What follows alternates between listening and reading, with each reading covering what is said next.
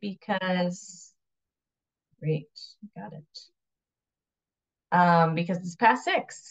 Hello, everybody. Thanks so much for coming tonight to the Dorchester Park Pathways Tree Community Meeting. This is our fourth meeting for this project. Um, it's the Boston Parks Recreation Department's first tree-only community meeting. I'm Nellie Ward. I use they, them pronouns. I took the project over from Lauren Bryant in August 2023 when I joined the team at Parks. And since then, I've been working with her um, to get the project running along with RDLA, our great design team, um, to get this project going. And I will be your point of contact through construction. Um, I'd like to thank you for coming. And we know that you all have busy schedules, and we really appreciate the time that you're giving from your schedule to join us. I'd like to welcome any elected officials, officials who might be on the call and ask you to raise your hand if you'd like to say anything at this time. Anybody out there? Nope. All right. So just to note that this meeting is being recorded and that's so we can post it on the project webpage. Um, we'll also post notes from this meeting and um, we'll I'll provide a link to the project webpage in the chat. I think Shauna's going to handle that for us. And that way it, it's going to be up in about a week. You can share this presentation with neighbors who aren't able to attend um, and review it yourself. So um, virtual meeting etiquette. So we want to just make sure everybody's voice is heard. We do have everybody set to be muted at the beginning, um, but you can go ahead and turn your mic on at the listening and discussion session when we'll have um, time and space to, to discuss. Um, you're welcome to turn your video on. We'd love to see everyone's faces. Um, please be respectful of everybody's thoughts and feelings. And um, we hope that you feel comfortable sharing any questions or comments in the chat or at the end of the presentation verbally, but if not, you can also email me or any of the other folks um, who are points of contact for this project directly. And um, Shauna, if you could pop my email in the chat, that would be great. So Zoom tips, um, we do ask that questions are held to the end. Um, if it feels pressing, you can add a question to the chat as we go through the presentation and we'll address those during the listening and discussion session. Um, we'll address the comments in the order that they come in. If you're calling in on a phone, you have to um, press star nine. And then once we call on you, you can press star six to unmute yourself. And on Zoom, um, it helps to use the raise the hand um, feature so that um, Shauna can help call on you if you have a question. All right. Let's see, how do we make this guy go away? Put it down here. Great. So um, agenda, so we'll talk through the project team, um, just who people are, who've been involved, and then we'll go over the schedule, where we're at in this process, talk about upcoming tree removals at Dorchester Park and the, the different kinds of tree removals that are happening at Dorchester Park. Some are related to this project and some are not. Um, but I want to just clarify that. And then we'll have a listing discussion and uh, next steps. Great.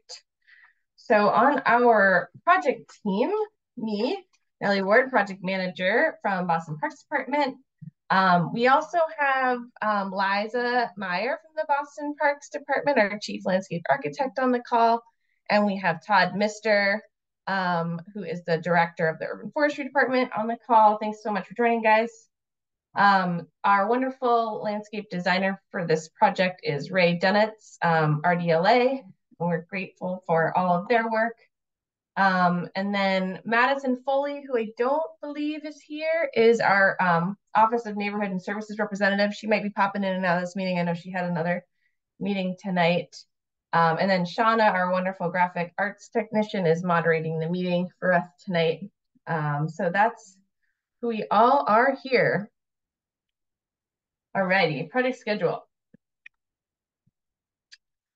So we've had, um, as I said, this is the fourth meeting, community meeting we've had. Um, for those of you who are new to the project, if any of you are new, this is a park pathways project. So it's different than our typical park renovations project. Um, a pathways project is really specifically directed towards paths um, and paving and accessibility. So the budget for pathways project typically doesn't include things like renovations to seating, site furnishings, lighting, new planting, playgrounds, sports courts that are typically part of like a full uh, park renovation project. Um, this project was flagged because this park was flagged because there were some, you know, a lot of paving problems and a lot of accessibility issues. And um, the community, we heard from several members in the community that we needed better access to the existing programming in the park and, um, you know, making it more, the park more equally accessible to people in wheelchairs and less able-bodied folks. So that's the kind of like scope and goal of this project. Um, we have had three community meetings so far, and the community saw the proposed accessibility uh, improvements and gave feedback on which pathways and uh, entrances were most important. Um, then we did some series of cost estimates for the project and um, recognized that we had to secure more funding for the for the pathways. So we got an additional five hundred thousand dollars from City Hall, which was great to help us get some of our some more accessibility improvements incorporated into the set. We got a variance from the Massachusetts Architectural Access Board to be able to um, to be able to provide the connections that we could and to be able to um, be okay with some of the connections that we weren't accessible uh, routes that we weren't able to do because of limited budget. So now we're actually in the middle of 60% um, construction drawings. That's kind of like the next phase of the project after community engagement. But um, there's a new tree ordinance where it's important for us to make the community aware that there are trees that will be removed um, because of the improvements that are being uh, proposed and designed. And so that's what the purpose of this meeting is. So it's really to let you know which trees are being affected by the pathway improvements. Um, so if all go, goes according to plan, we um, hope to have the bid documents or the construction documents wrapped up winter this winter um, and in the spring. Oops. And in the spring, have bidding and awarding of a contract. And then from there, if all goes according to plan, we'll have nine to 12 months of construction uh, before the park opens. How do I make this guy go away? Whoops. Does anybody know out there? Let's see. What is it, Nellie? Because we don't see something that. Oh, you don't? You don't no. see this bar? Oh, okay. No. Oh, that's great. I was thinking it was covering up stuff. Okay. Oh, and I forgot to be covering it for you, but we're good. Okay. Thanks, Liza. Sure. Um, and just to point out the one thing I didn't say, which is this green, um, this green section, which is really, it's not a part of this project, but the urban forestry department will be doing tree removals this November through next year. Um, and we'll come back to this, but I just wanted to let you know that that's overlapping with this existing other project. That's a pathways improvement project. So we'll come back to that. All right, so I'll overview upcoming tree removals. So as I said, there's two types of removals that are happening. There's type one is trees that are being removed for canopy health and management. And those are trees that require removal as determined by the city of Boston tree warden to be dead, um, dying, diseased, or posing a risk to persons or property, um, or are classified as an invasive species, or for the suppression of pests. So those are, there's a lot of trees that will be affected by those um, that fall into that category that are not at all um, part of the pathway improvements project. Um, that those are going to be addressed by the urban forestry department. And then the trees that are the type two trees are the trees that are being removed for accessibility and design. And those are trees that um, may be impacted as a result of construction or they're, um, you know, they conflict with a pathway. Um, grade that could include grading, subsurface conditions um, to make the park more accessible and to improve circulation. So we're going to go over both types of trees, tree removals. So we had a very thorough report done um, by Bartlett tree experts um, to assess and document trees that were within 15 feet of all the pathways in the park. Um, those trees have been identified and flagged, and we actually um, the the parks team, the and and um, RDLA, our designer, went actually through the park with Max Ford Diamond, the city of Boston tree warden, to confirm those removals and decide whether we needed to. Some of them we decided to keep, and some of them we decided um, really needed to go. So the the urban forestry department is handling those separately.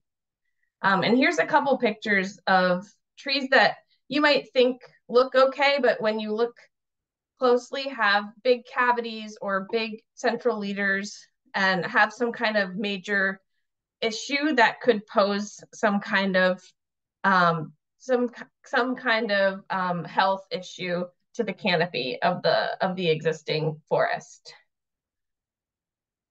Um, so then the second type of trees are really the trees that are related to this project. To review what we've already gone over, we have um, in, in the past past community meetings, we will be repaving.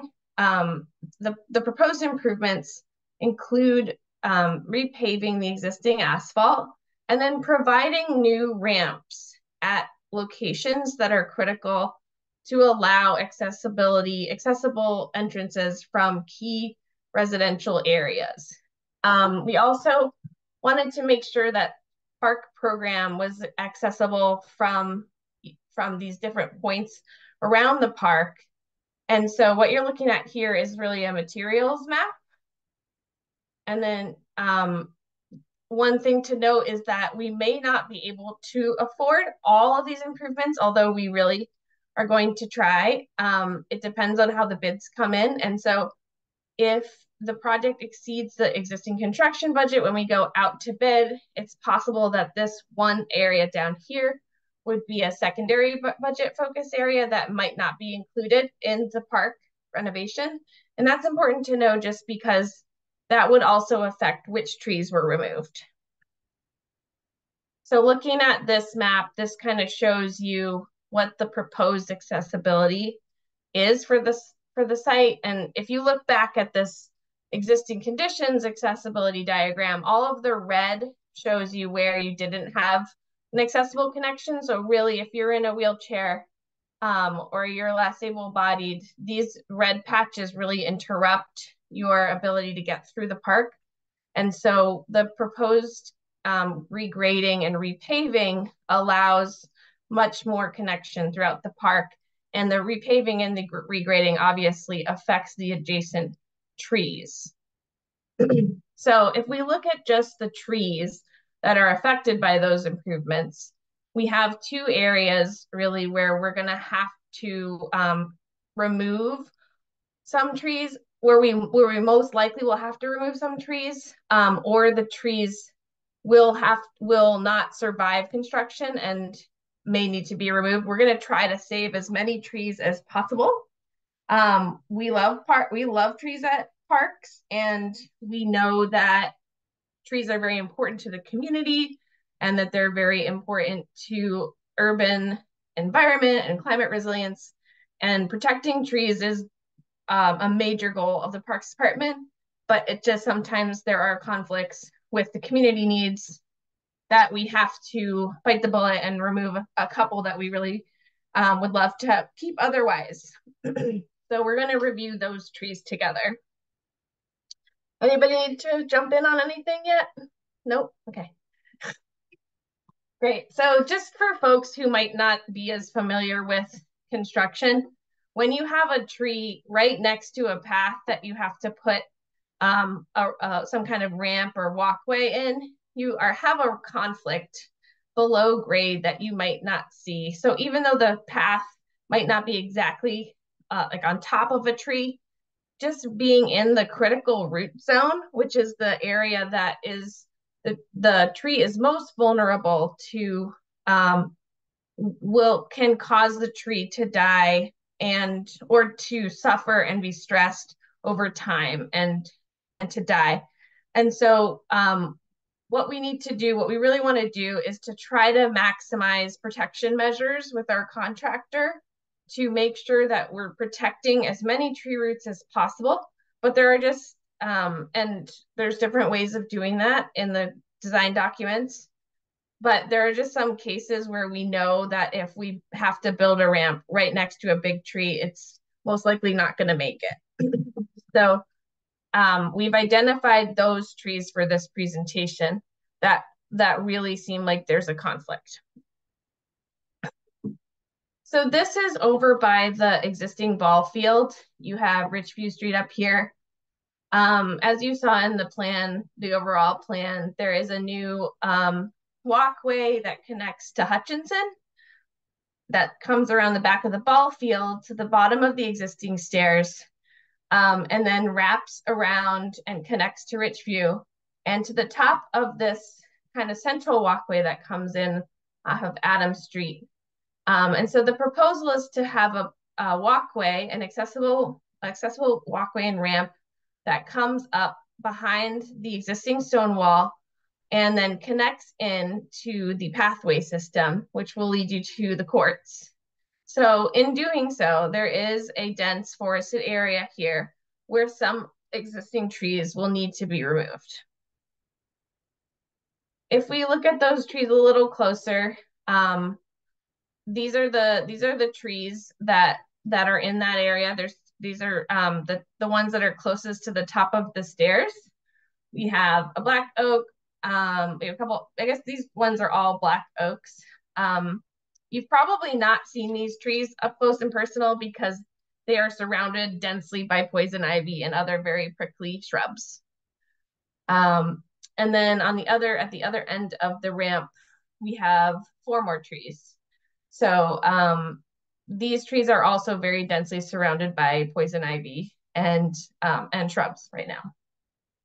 Uh, okay, so hopping over to basically like the playground area. So this is play the playground up here and down here is Richmond Street. Um, so this is the new entrance that we're proposing to try to make more accessible. Um, we have a new ramp that will require some regrading that goes right behind um, a big a big tree over here. It's a black oak and then comes up. And then we have another ramp that will um, that's very close to the path that will like will impact tree 32 and tree uh, 33 although we would really really like to save those and we're going to try everything we can to make sure that we minimize impacts and try to protect them. But because there is a risk, we want to present these trees to you too as trees that potentially might need to be removed for these accessibility improvements.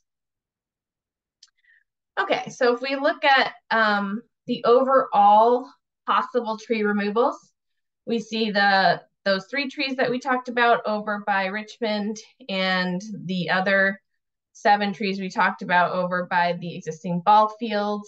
Um, and then the green dots are trees that were identified in that report for either um, some kind of tree health um, treatment, something to improve the, the, the, the existing canopy, or and or a removal. And while we have a plan of these trees, this is not something that the urban forestry department is going to come in and just do all at once. This will be a several year process of selectively removing and treating these trees as the department sees fit and as funding um, becomes available for that work.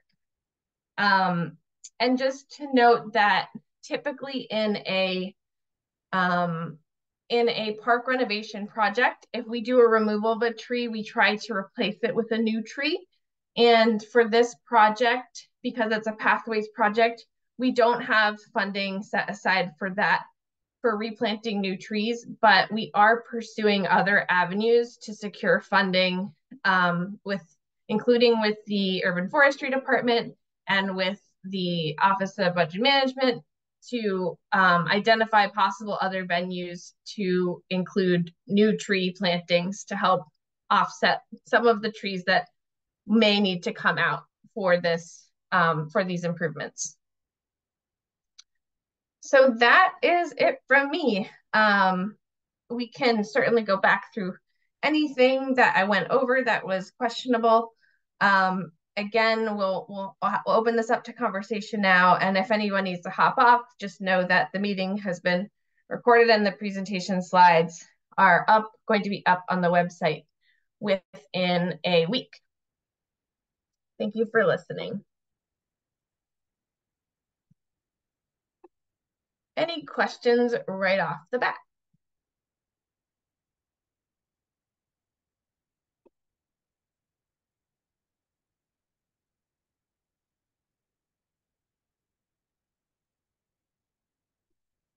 Heidi? Um, let me ask you to unmute.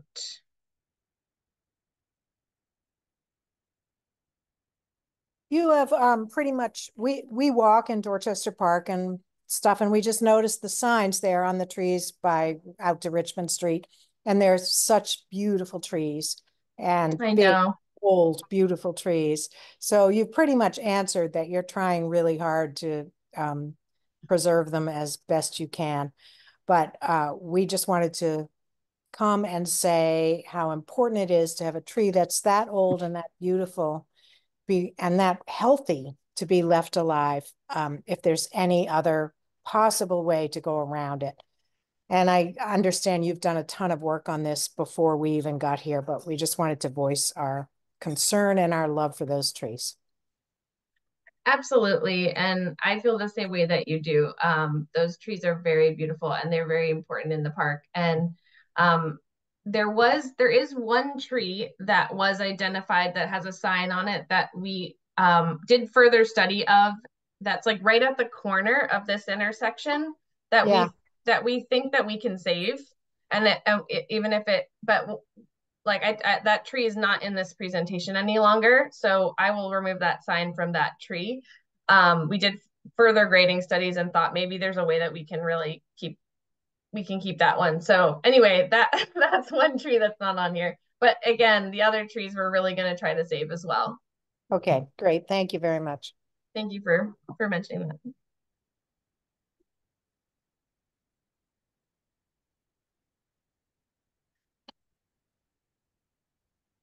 Anybody else out there? Brave souls?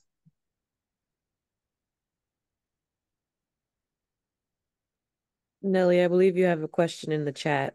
Oh, thanks. Where I, I do not have my chat. Could you read it for us?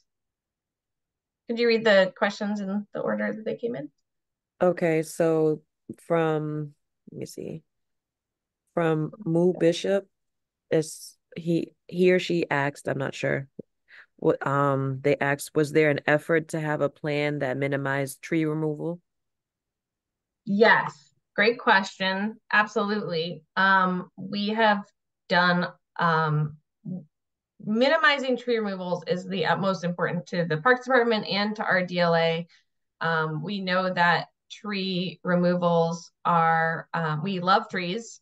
They have so many benefits. Um, they're, they're our number one green infrastructure in the city. And um, this, this particular set of design um, construction documents and specifications will include a lot of protection measures for the existing trees so that the contractor is held to very specific requirements when working on the site with construction vehicles and material storage to minimize um, any type of impact to the existing trees, whether that be, you know, using different equipment, um, like smaller vehicles, um, like placement of material storage, site access, we certainly that is one thing that we really take seriously at the Parks Department.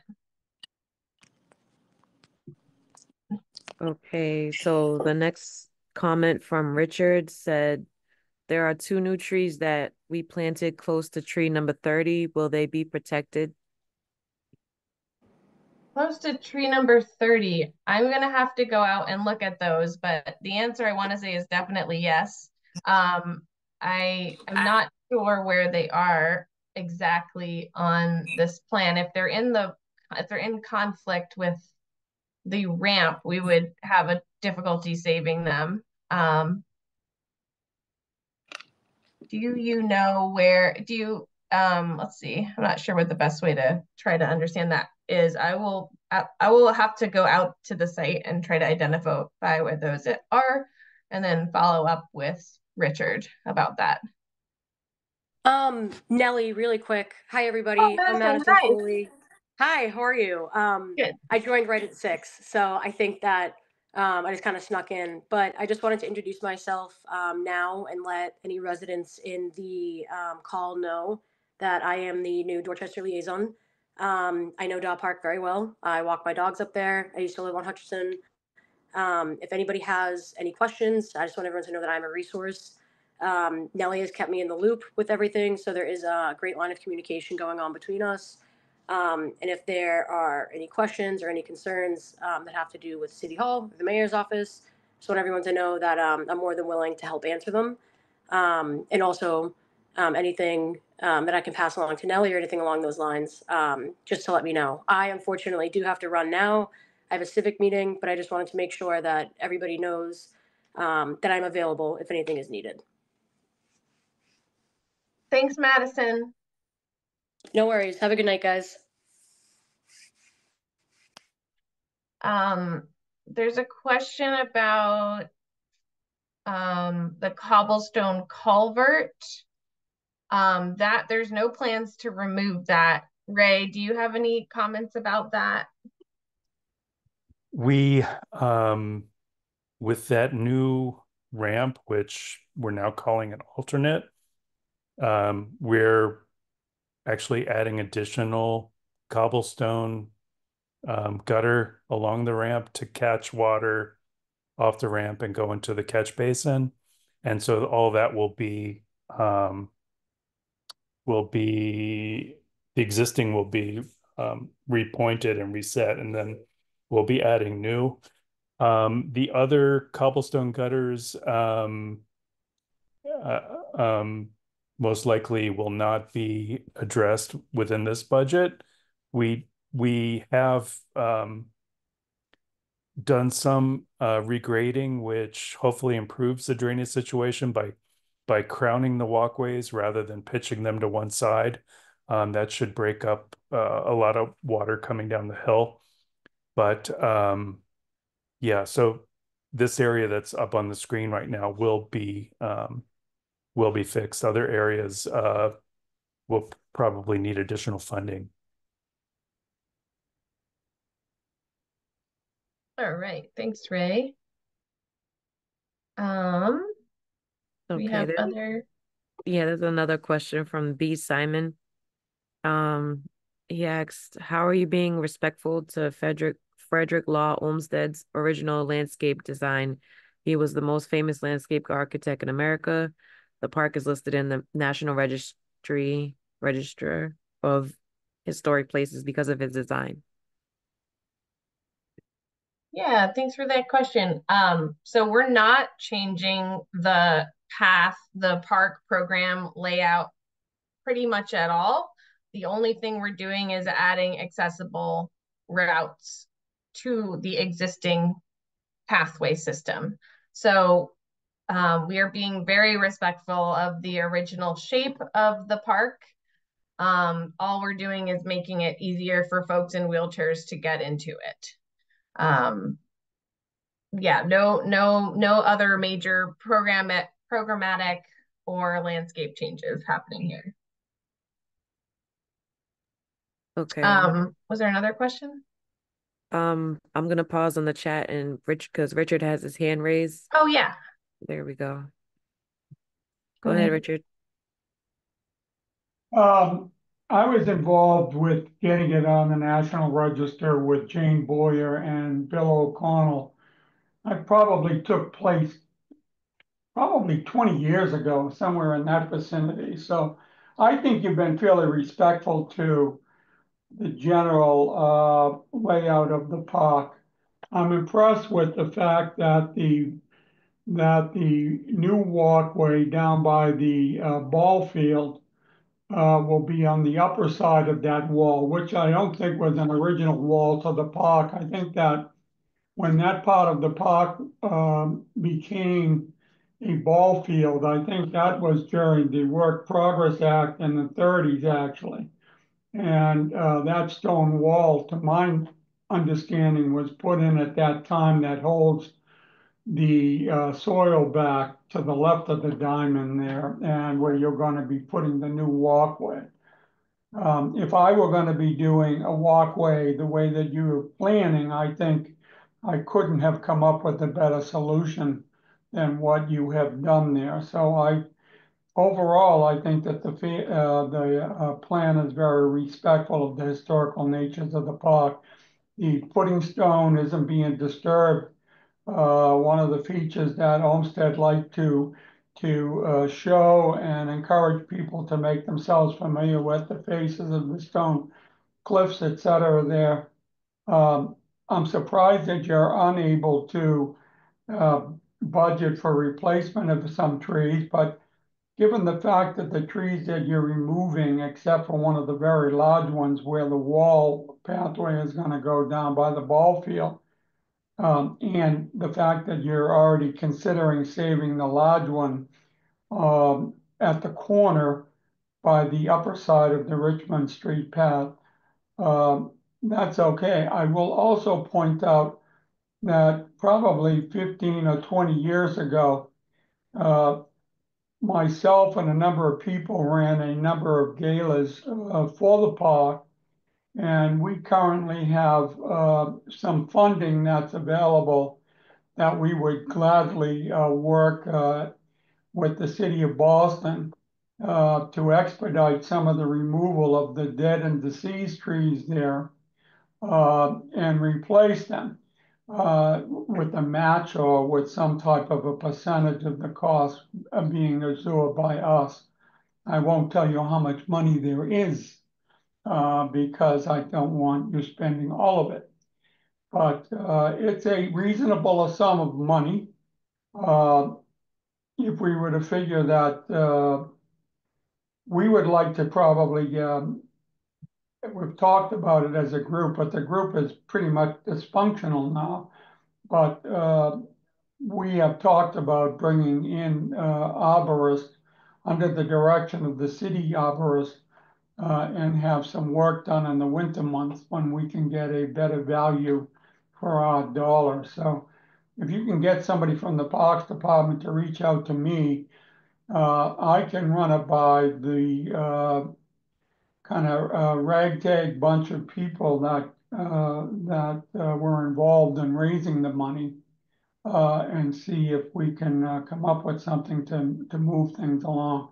But I think that you've been pretty sensitive with the cobblestones, that was a an issue that uh, one of our members uh, worked diligently to remove all of the waste that had covered that um, um, that drainage pit. Uh, just where that pathway coming up from Richmond Street takes a left and comes back into the existing path, there is a culvert that goes underneath the existing path with a, uh, and it drains down into where you're, into the basin there where uh, number tree number 30 is. So uh, my understanding from Ray is that that uh, culvert will remain underneath the pathway and uh, come down. Three trees that we planted as a group, um, oak trees, um, uh, right of, in the general vicinity, they were replacing trees that had actually we had lost. And one is um,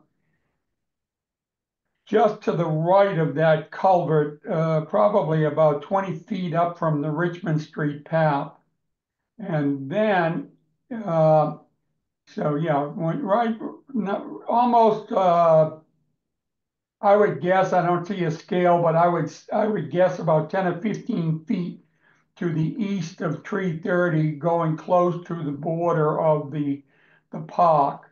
So there was a large tree there on the other side of the culvert that was replaced. And then where you're pulling back in, uh, in that underground culvert that comes from that drainage ditch right there, um, comes in, there's a new tree right here where we lost a tree. And then there is a new tree at the uh, Dorchester Avenue um, entrance um, outside of that circle on the right-hand side. If you look at it, you can see it's actually caught on fairly well. The diameter and the uh, and the caliber of it, it went in at the same time as the other two, but it has done tremendously well out uh, by right in this area right here. It's right here. Underneath, uh, underneath the canopy trees here, just where that culvert is, we planted three dogwoods as uh, undergrowth in there. And those, uh, I look at them fairly regularly. They have suffered through some of the drought conditions over the last five or six years, but they're still very much alive, although the cat briar is starting to gather on them and so on. So um, one thing that when we used to have the goats in the park eating some of the poison ivy in the undergrowth there, the city had promised to maintain the areas that the goats cleared. Unfortunately, that didn't happen. And that area is uh, right here by the playground, uh, where the poison ivy and the stone outcropping is right here. The goats did Richard, I just I just want to let you know we can't see your cursor. Um, oh, you can't see that. Okay. No, so I'm kind of trying to put my mouse where I think you're yeah, talking. Well, you, about. Were, you were doing a very good job, actually. Okay, so over here oh. somewhere. So um, if we can get uh, somebody from the Parks Department to work with us. Uh, we used to have quite a volunteer group uh, going yeah. through there and uh, taking out a lot of that cat briar and so on. But I have to say, I'm the de facto president of the Dorchester Park Association uh, because we've never changed the things in the Secretary of State's office the way that we were supposed to. But um, and I do control the uh, the checking accounts and the CDs that we have that hold the money, um, it's a little bit better than hundred thousand dollars uh, that uh, we have sitting there that really ought to be utilized for some of the purpose that we raised it for. Uh, but we'd love to work with somebody and get some progress made on the park. So, absolutely, thank you so much. You've been sensitive, very sensitive, I think, to the to the uh, the Olmsted plan, which was very important to us, the passive growth area, the passive green areas and recreational areas on the park. The city's always managed to do the active one, the playing fields, the, the little league field, the tennis courts, the playground. Uh, but the passive areas have been, uh, over the years, let go to hell. And um, we'd like to start improving those. That's Thank all. you so much. That that oh go ahead. Sorry. No, I'm all done. Okay.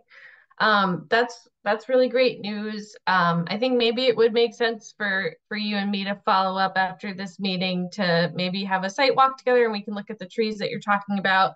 Um and also I think having Todd Mistor, the director of urban forestry on the call um is a was a great thing and also you guys we can also make sure that you guys are connected as um, Todd will help manage the um, canopy, the canopy management and like tree health improvement efforts that we um, we want to undertake and and funding for that as well. So um, thank you so much for for letting us know that you are willing to work with us and that there's potential partnership opportunity there. Um, Todd, let me know if you want to say anything too. You're welcome to. Um, let's see, I can ask to unmute you. Um, No, I, I don't need to partic- uh, say anything in particular other than uh, just to point out that prior to the issuance of the uh, the release of the urban forest plan in 2022, uh, I will admit the urban forestry division was rather small, and honestly, we didn't do a lot of work in parks. And as was already pointed out, the passive area of this park was not well maintained. Um, it, it is our goal in the coming years to, to pay more attention and to, to be more invested in that and proactive in the work that we do. Again, it's not going to be overnight. It's not going to be an instant thing, uh, but we definitely want to be more involved in uh, working with community groups that might be able to, or partner with community groups that might be able to uh, provide some some labor in there, uh, whether that's funding for labor or you know through their own efforts. Um, again, partnerships are great. And in terms of planting new trees, I think we can, when this project is complete, we can look at ways of uh, finding spots to, to, to continue to build the canopy there. So we're, we're definitely open to that of uh, using some of our resources to make sure that we get some, some new trees growing there because we know we have to remove some to facilitate this work. Thank you so much, Todd. Question from Karen?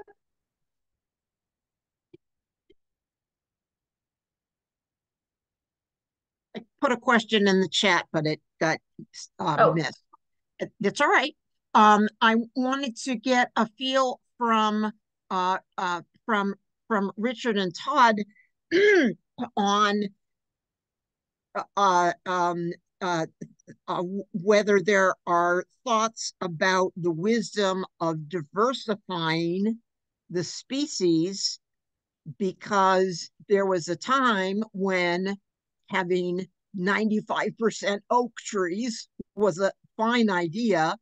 But now that we get invasive species that can come and wipe out an entire species, it's something that uh, um, I don't know is a factor when you get to the point of replanting with other trees. Are you going to try and stick with the original uh, plant almost all oak trees or is is have has anyone put thought into uh because it's really it's it's very it's it's oak and birch and uh that's about it.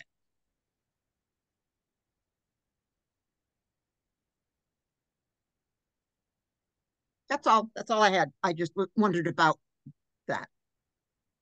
Yeah. Um, Todd, did you want to speak about species at all, or should I handle that one? Um, no, I think um, I think we we are interested in in diversifying the canopy and um, any any I, I think you know what depending on where the tree is, we would probably take a do an assessment of what make would make sense for that particular area, whether we wanted like a if it was like a flowering tree that got removed, we would replace it with some a native flowering tree.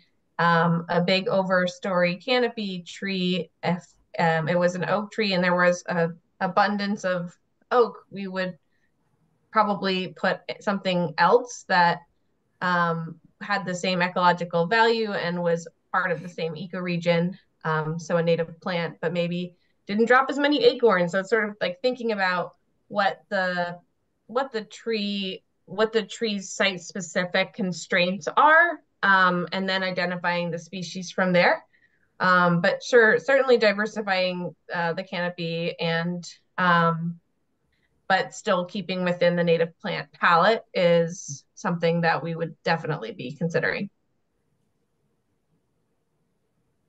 Any other comments um, from my team on that? Nope. Well, again, I would just say that, again, diversity is always a, a, good point as we look to the future and we look to new thing, climate change and uh, invasive pests that may come along.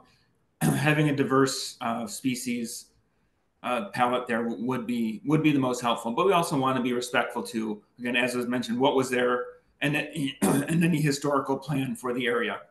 But again, at this point, I don't. I think it's probably a little premature to talk about individual species, but we can we're definitely open to conversations uh, when we're when we're engaging in that work. Thanks, Todd.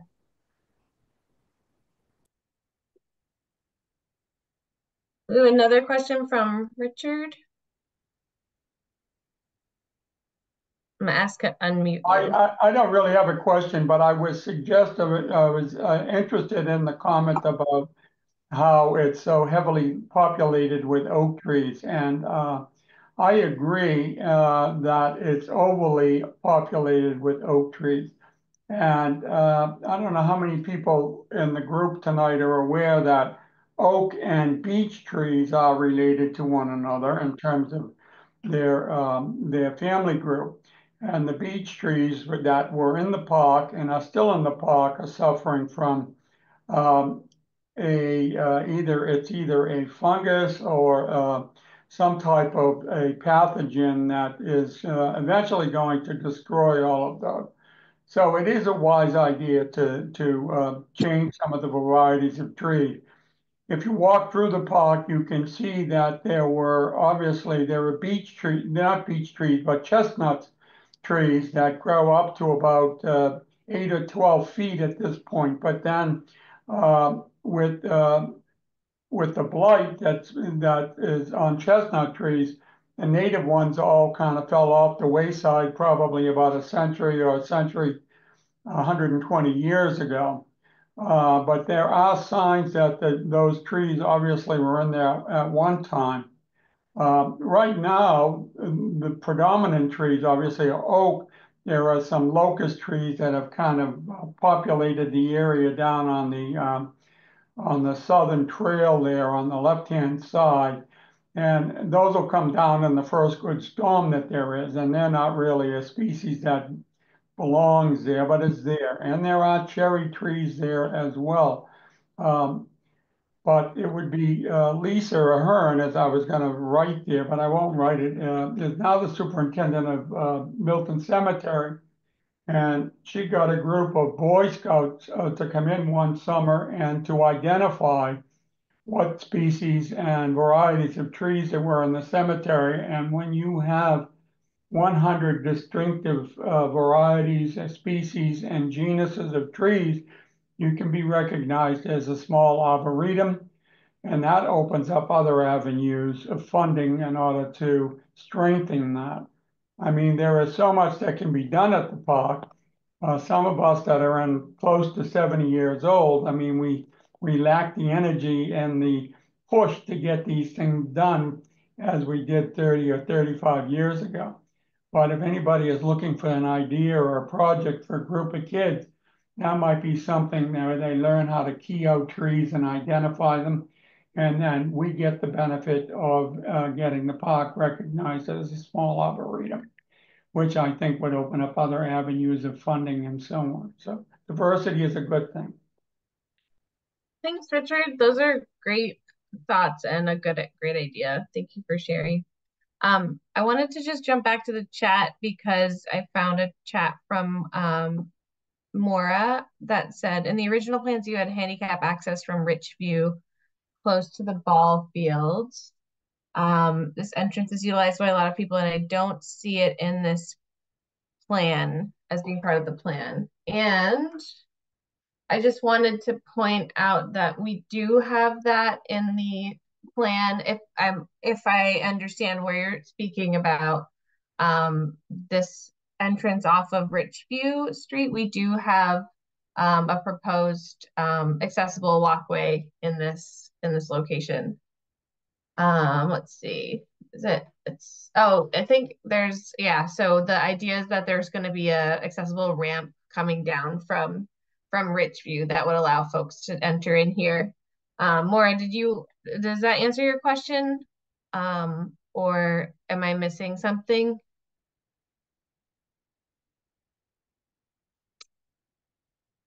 Um, feel free to follow up with me too if that would feel more comfortable. Um, but we, yeah, I think there was a point in earlier in the project where there was discussion of adding a a ramp over on this side maybe, um, and that was like a big zigzag ramp, but it ended up being cost prohibitive And also it would require removing a lot of really beautiful, huge trees. Um, and so we felt that this solution, which is very close by and removes a lot less trees, would be more appropriate um, for the site. Let me ask to unmute you, Maura. Okay, can you hear me? Yes. Oh, good. Okay, thanks. Yeah, I was just really concerned because that entrance is used by like so many, like the uh, flag football people, the baseball people, and this one. Yeah, and uh -huh. so many, so many people park up on Richmond Street, Richview Street to mm -hmm. access the ball field um, you know, we have like tons of people that come in and access from that area. And if you were handicapped, there's no way you're getting in that from Richview Street. Yeah, so the new um, proposed um, the proposed plans do include an accessible ramp um, from from Richview Street that isn't currently there. Oh, okay. I just misunderstood your first comments at the beginning saying, you know, some of them weren't going to be done. So yeah, I I um I think I might have said that down here on Richmond Street, this uh this one that has a number two has been flagged as an area that we might not be able to afford adding a, a accessible ramp um to, and so that's a secondary budget focus area just because it's very close to two other um, accessible entrances. But the Richview Street North um, accessible ramp is still in the plans right oh, now. That's that's very good to hear. I'm very excited about that. Great. Yeah, we thought that was an important. We heard that that was a very important one. So I just didn't. I just didn't see any signs on any of the trees in that area. So I just thought maybe they weren't going to do that area. Yeah. So let me explain something about that. So the trees that are being removed because they have some, they're dead, dying, diseased, invasive, um, or have some kind of like structural integrity issue we did not put signs on because those fall outside of the tree ordinance requirements to let the community know about them. Um, so let me make let me make sure that that I'm making sense there. So let's go to the last slide.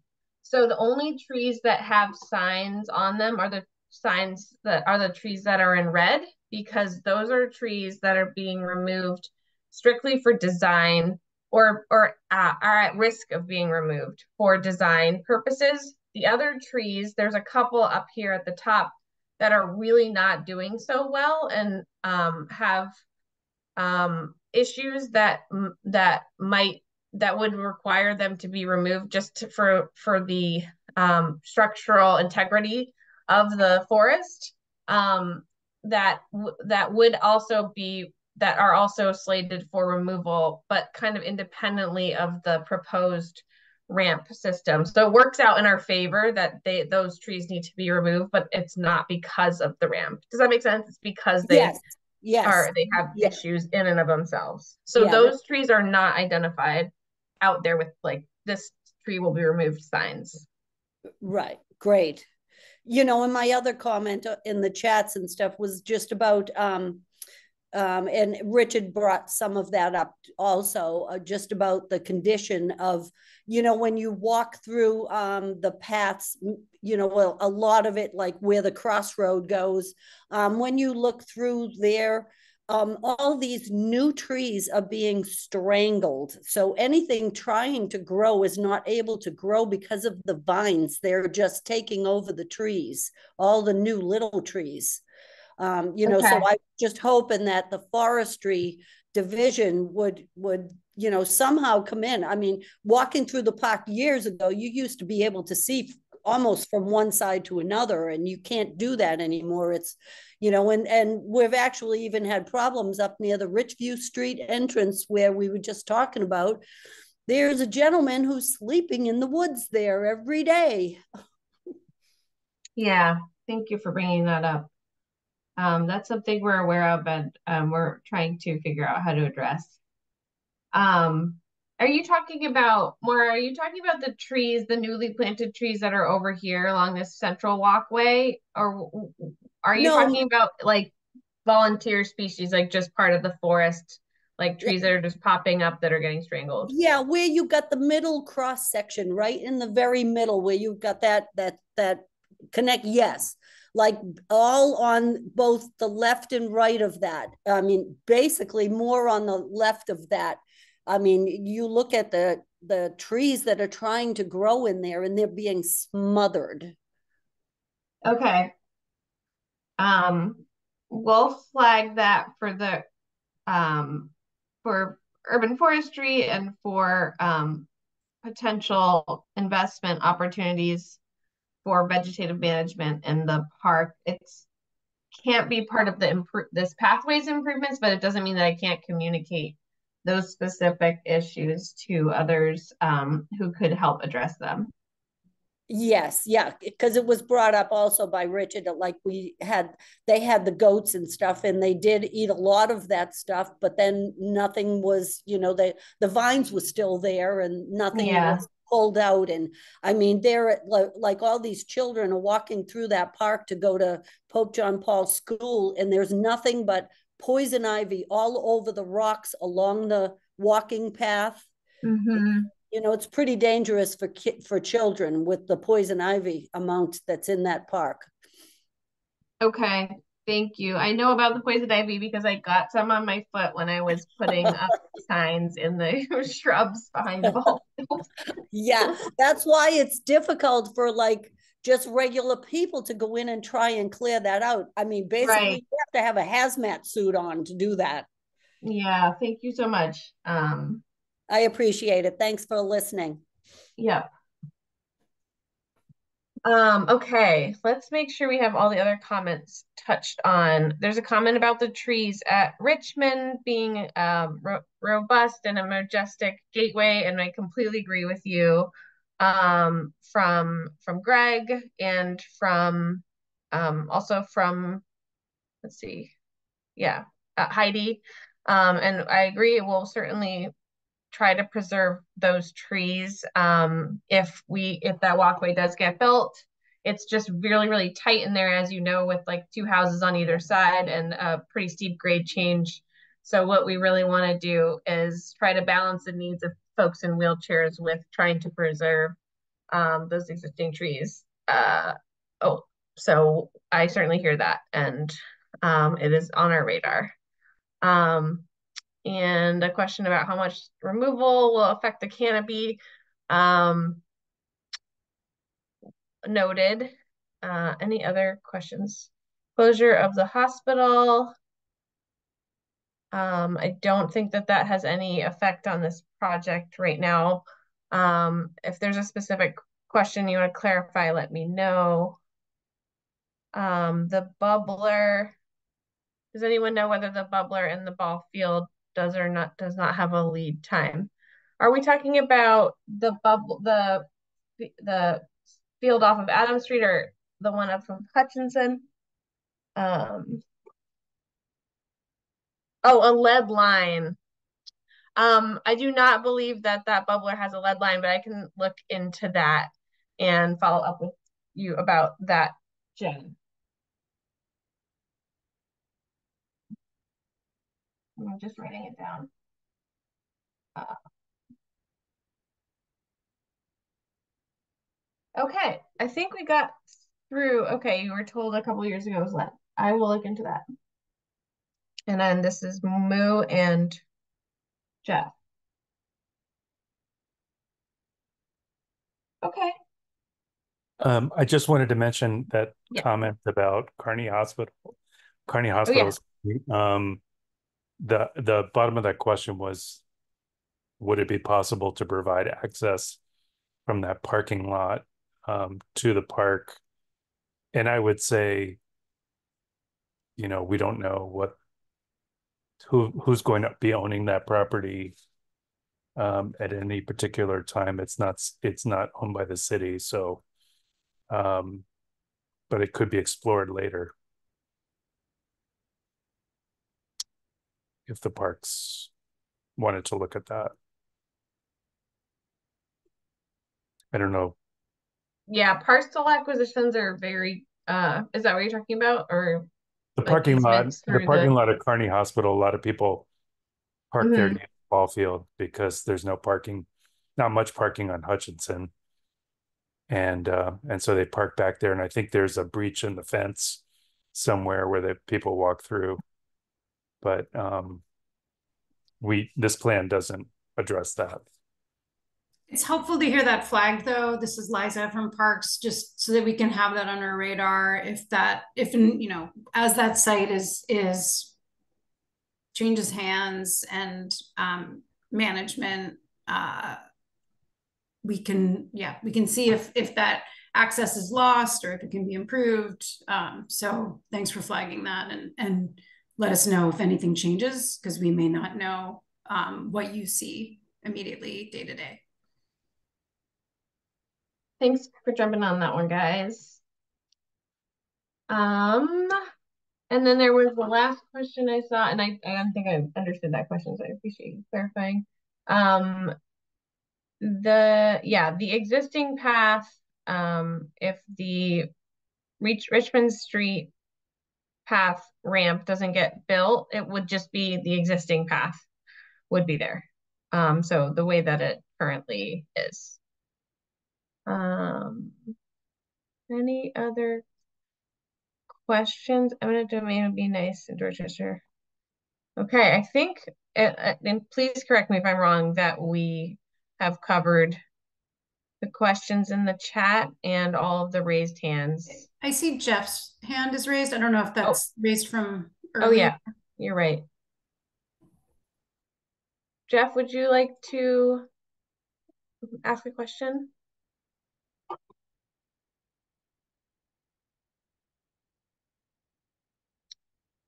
If you're speaking, we cannot hear you.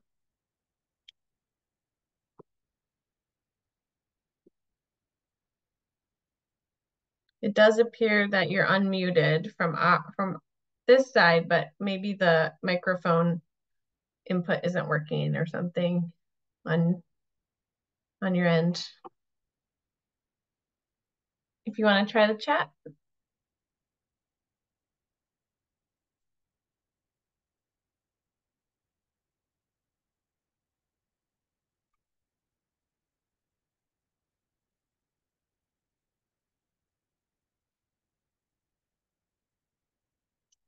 Um, I'm gonna go ahead and drop my um, email in the chat. And um, Jeff, please feel free to follow up with me. I'm sorry we couldn't hear you if you're speaking.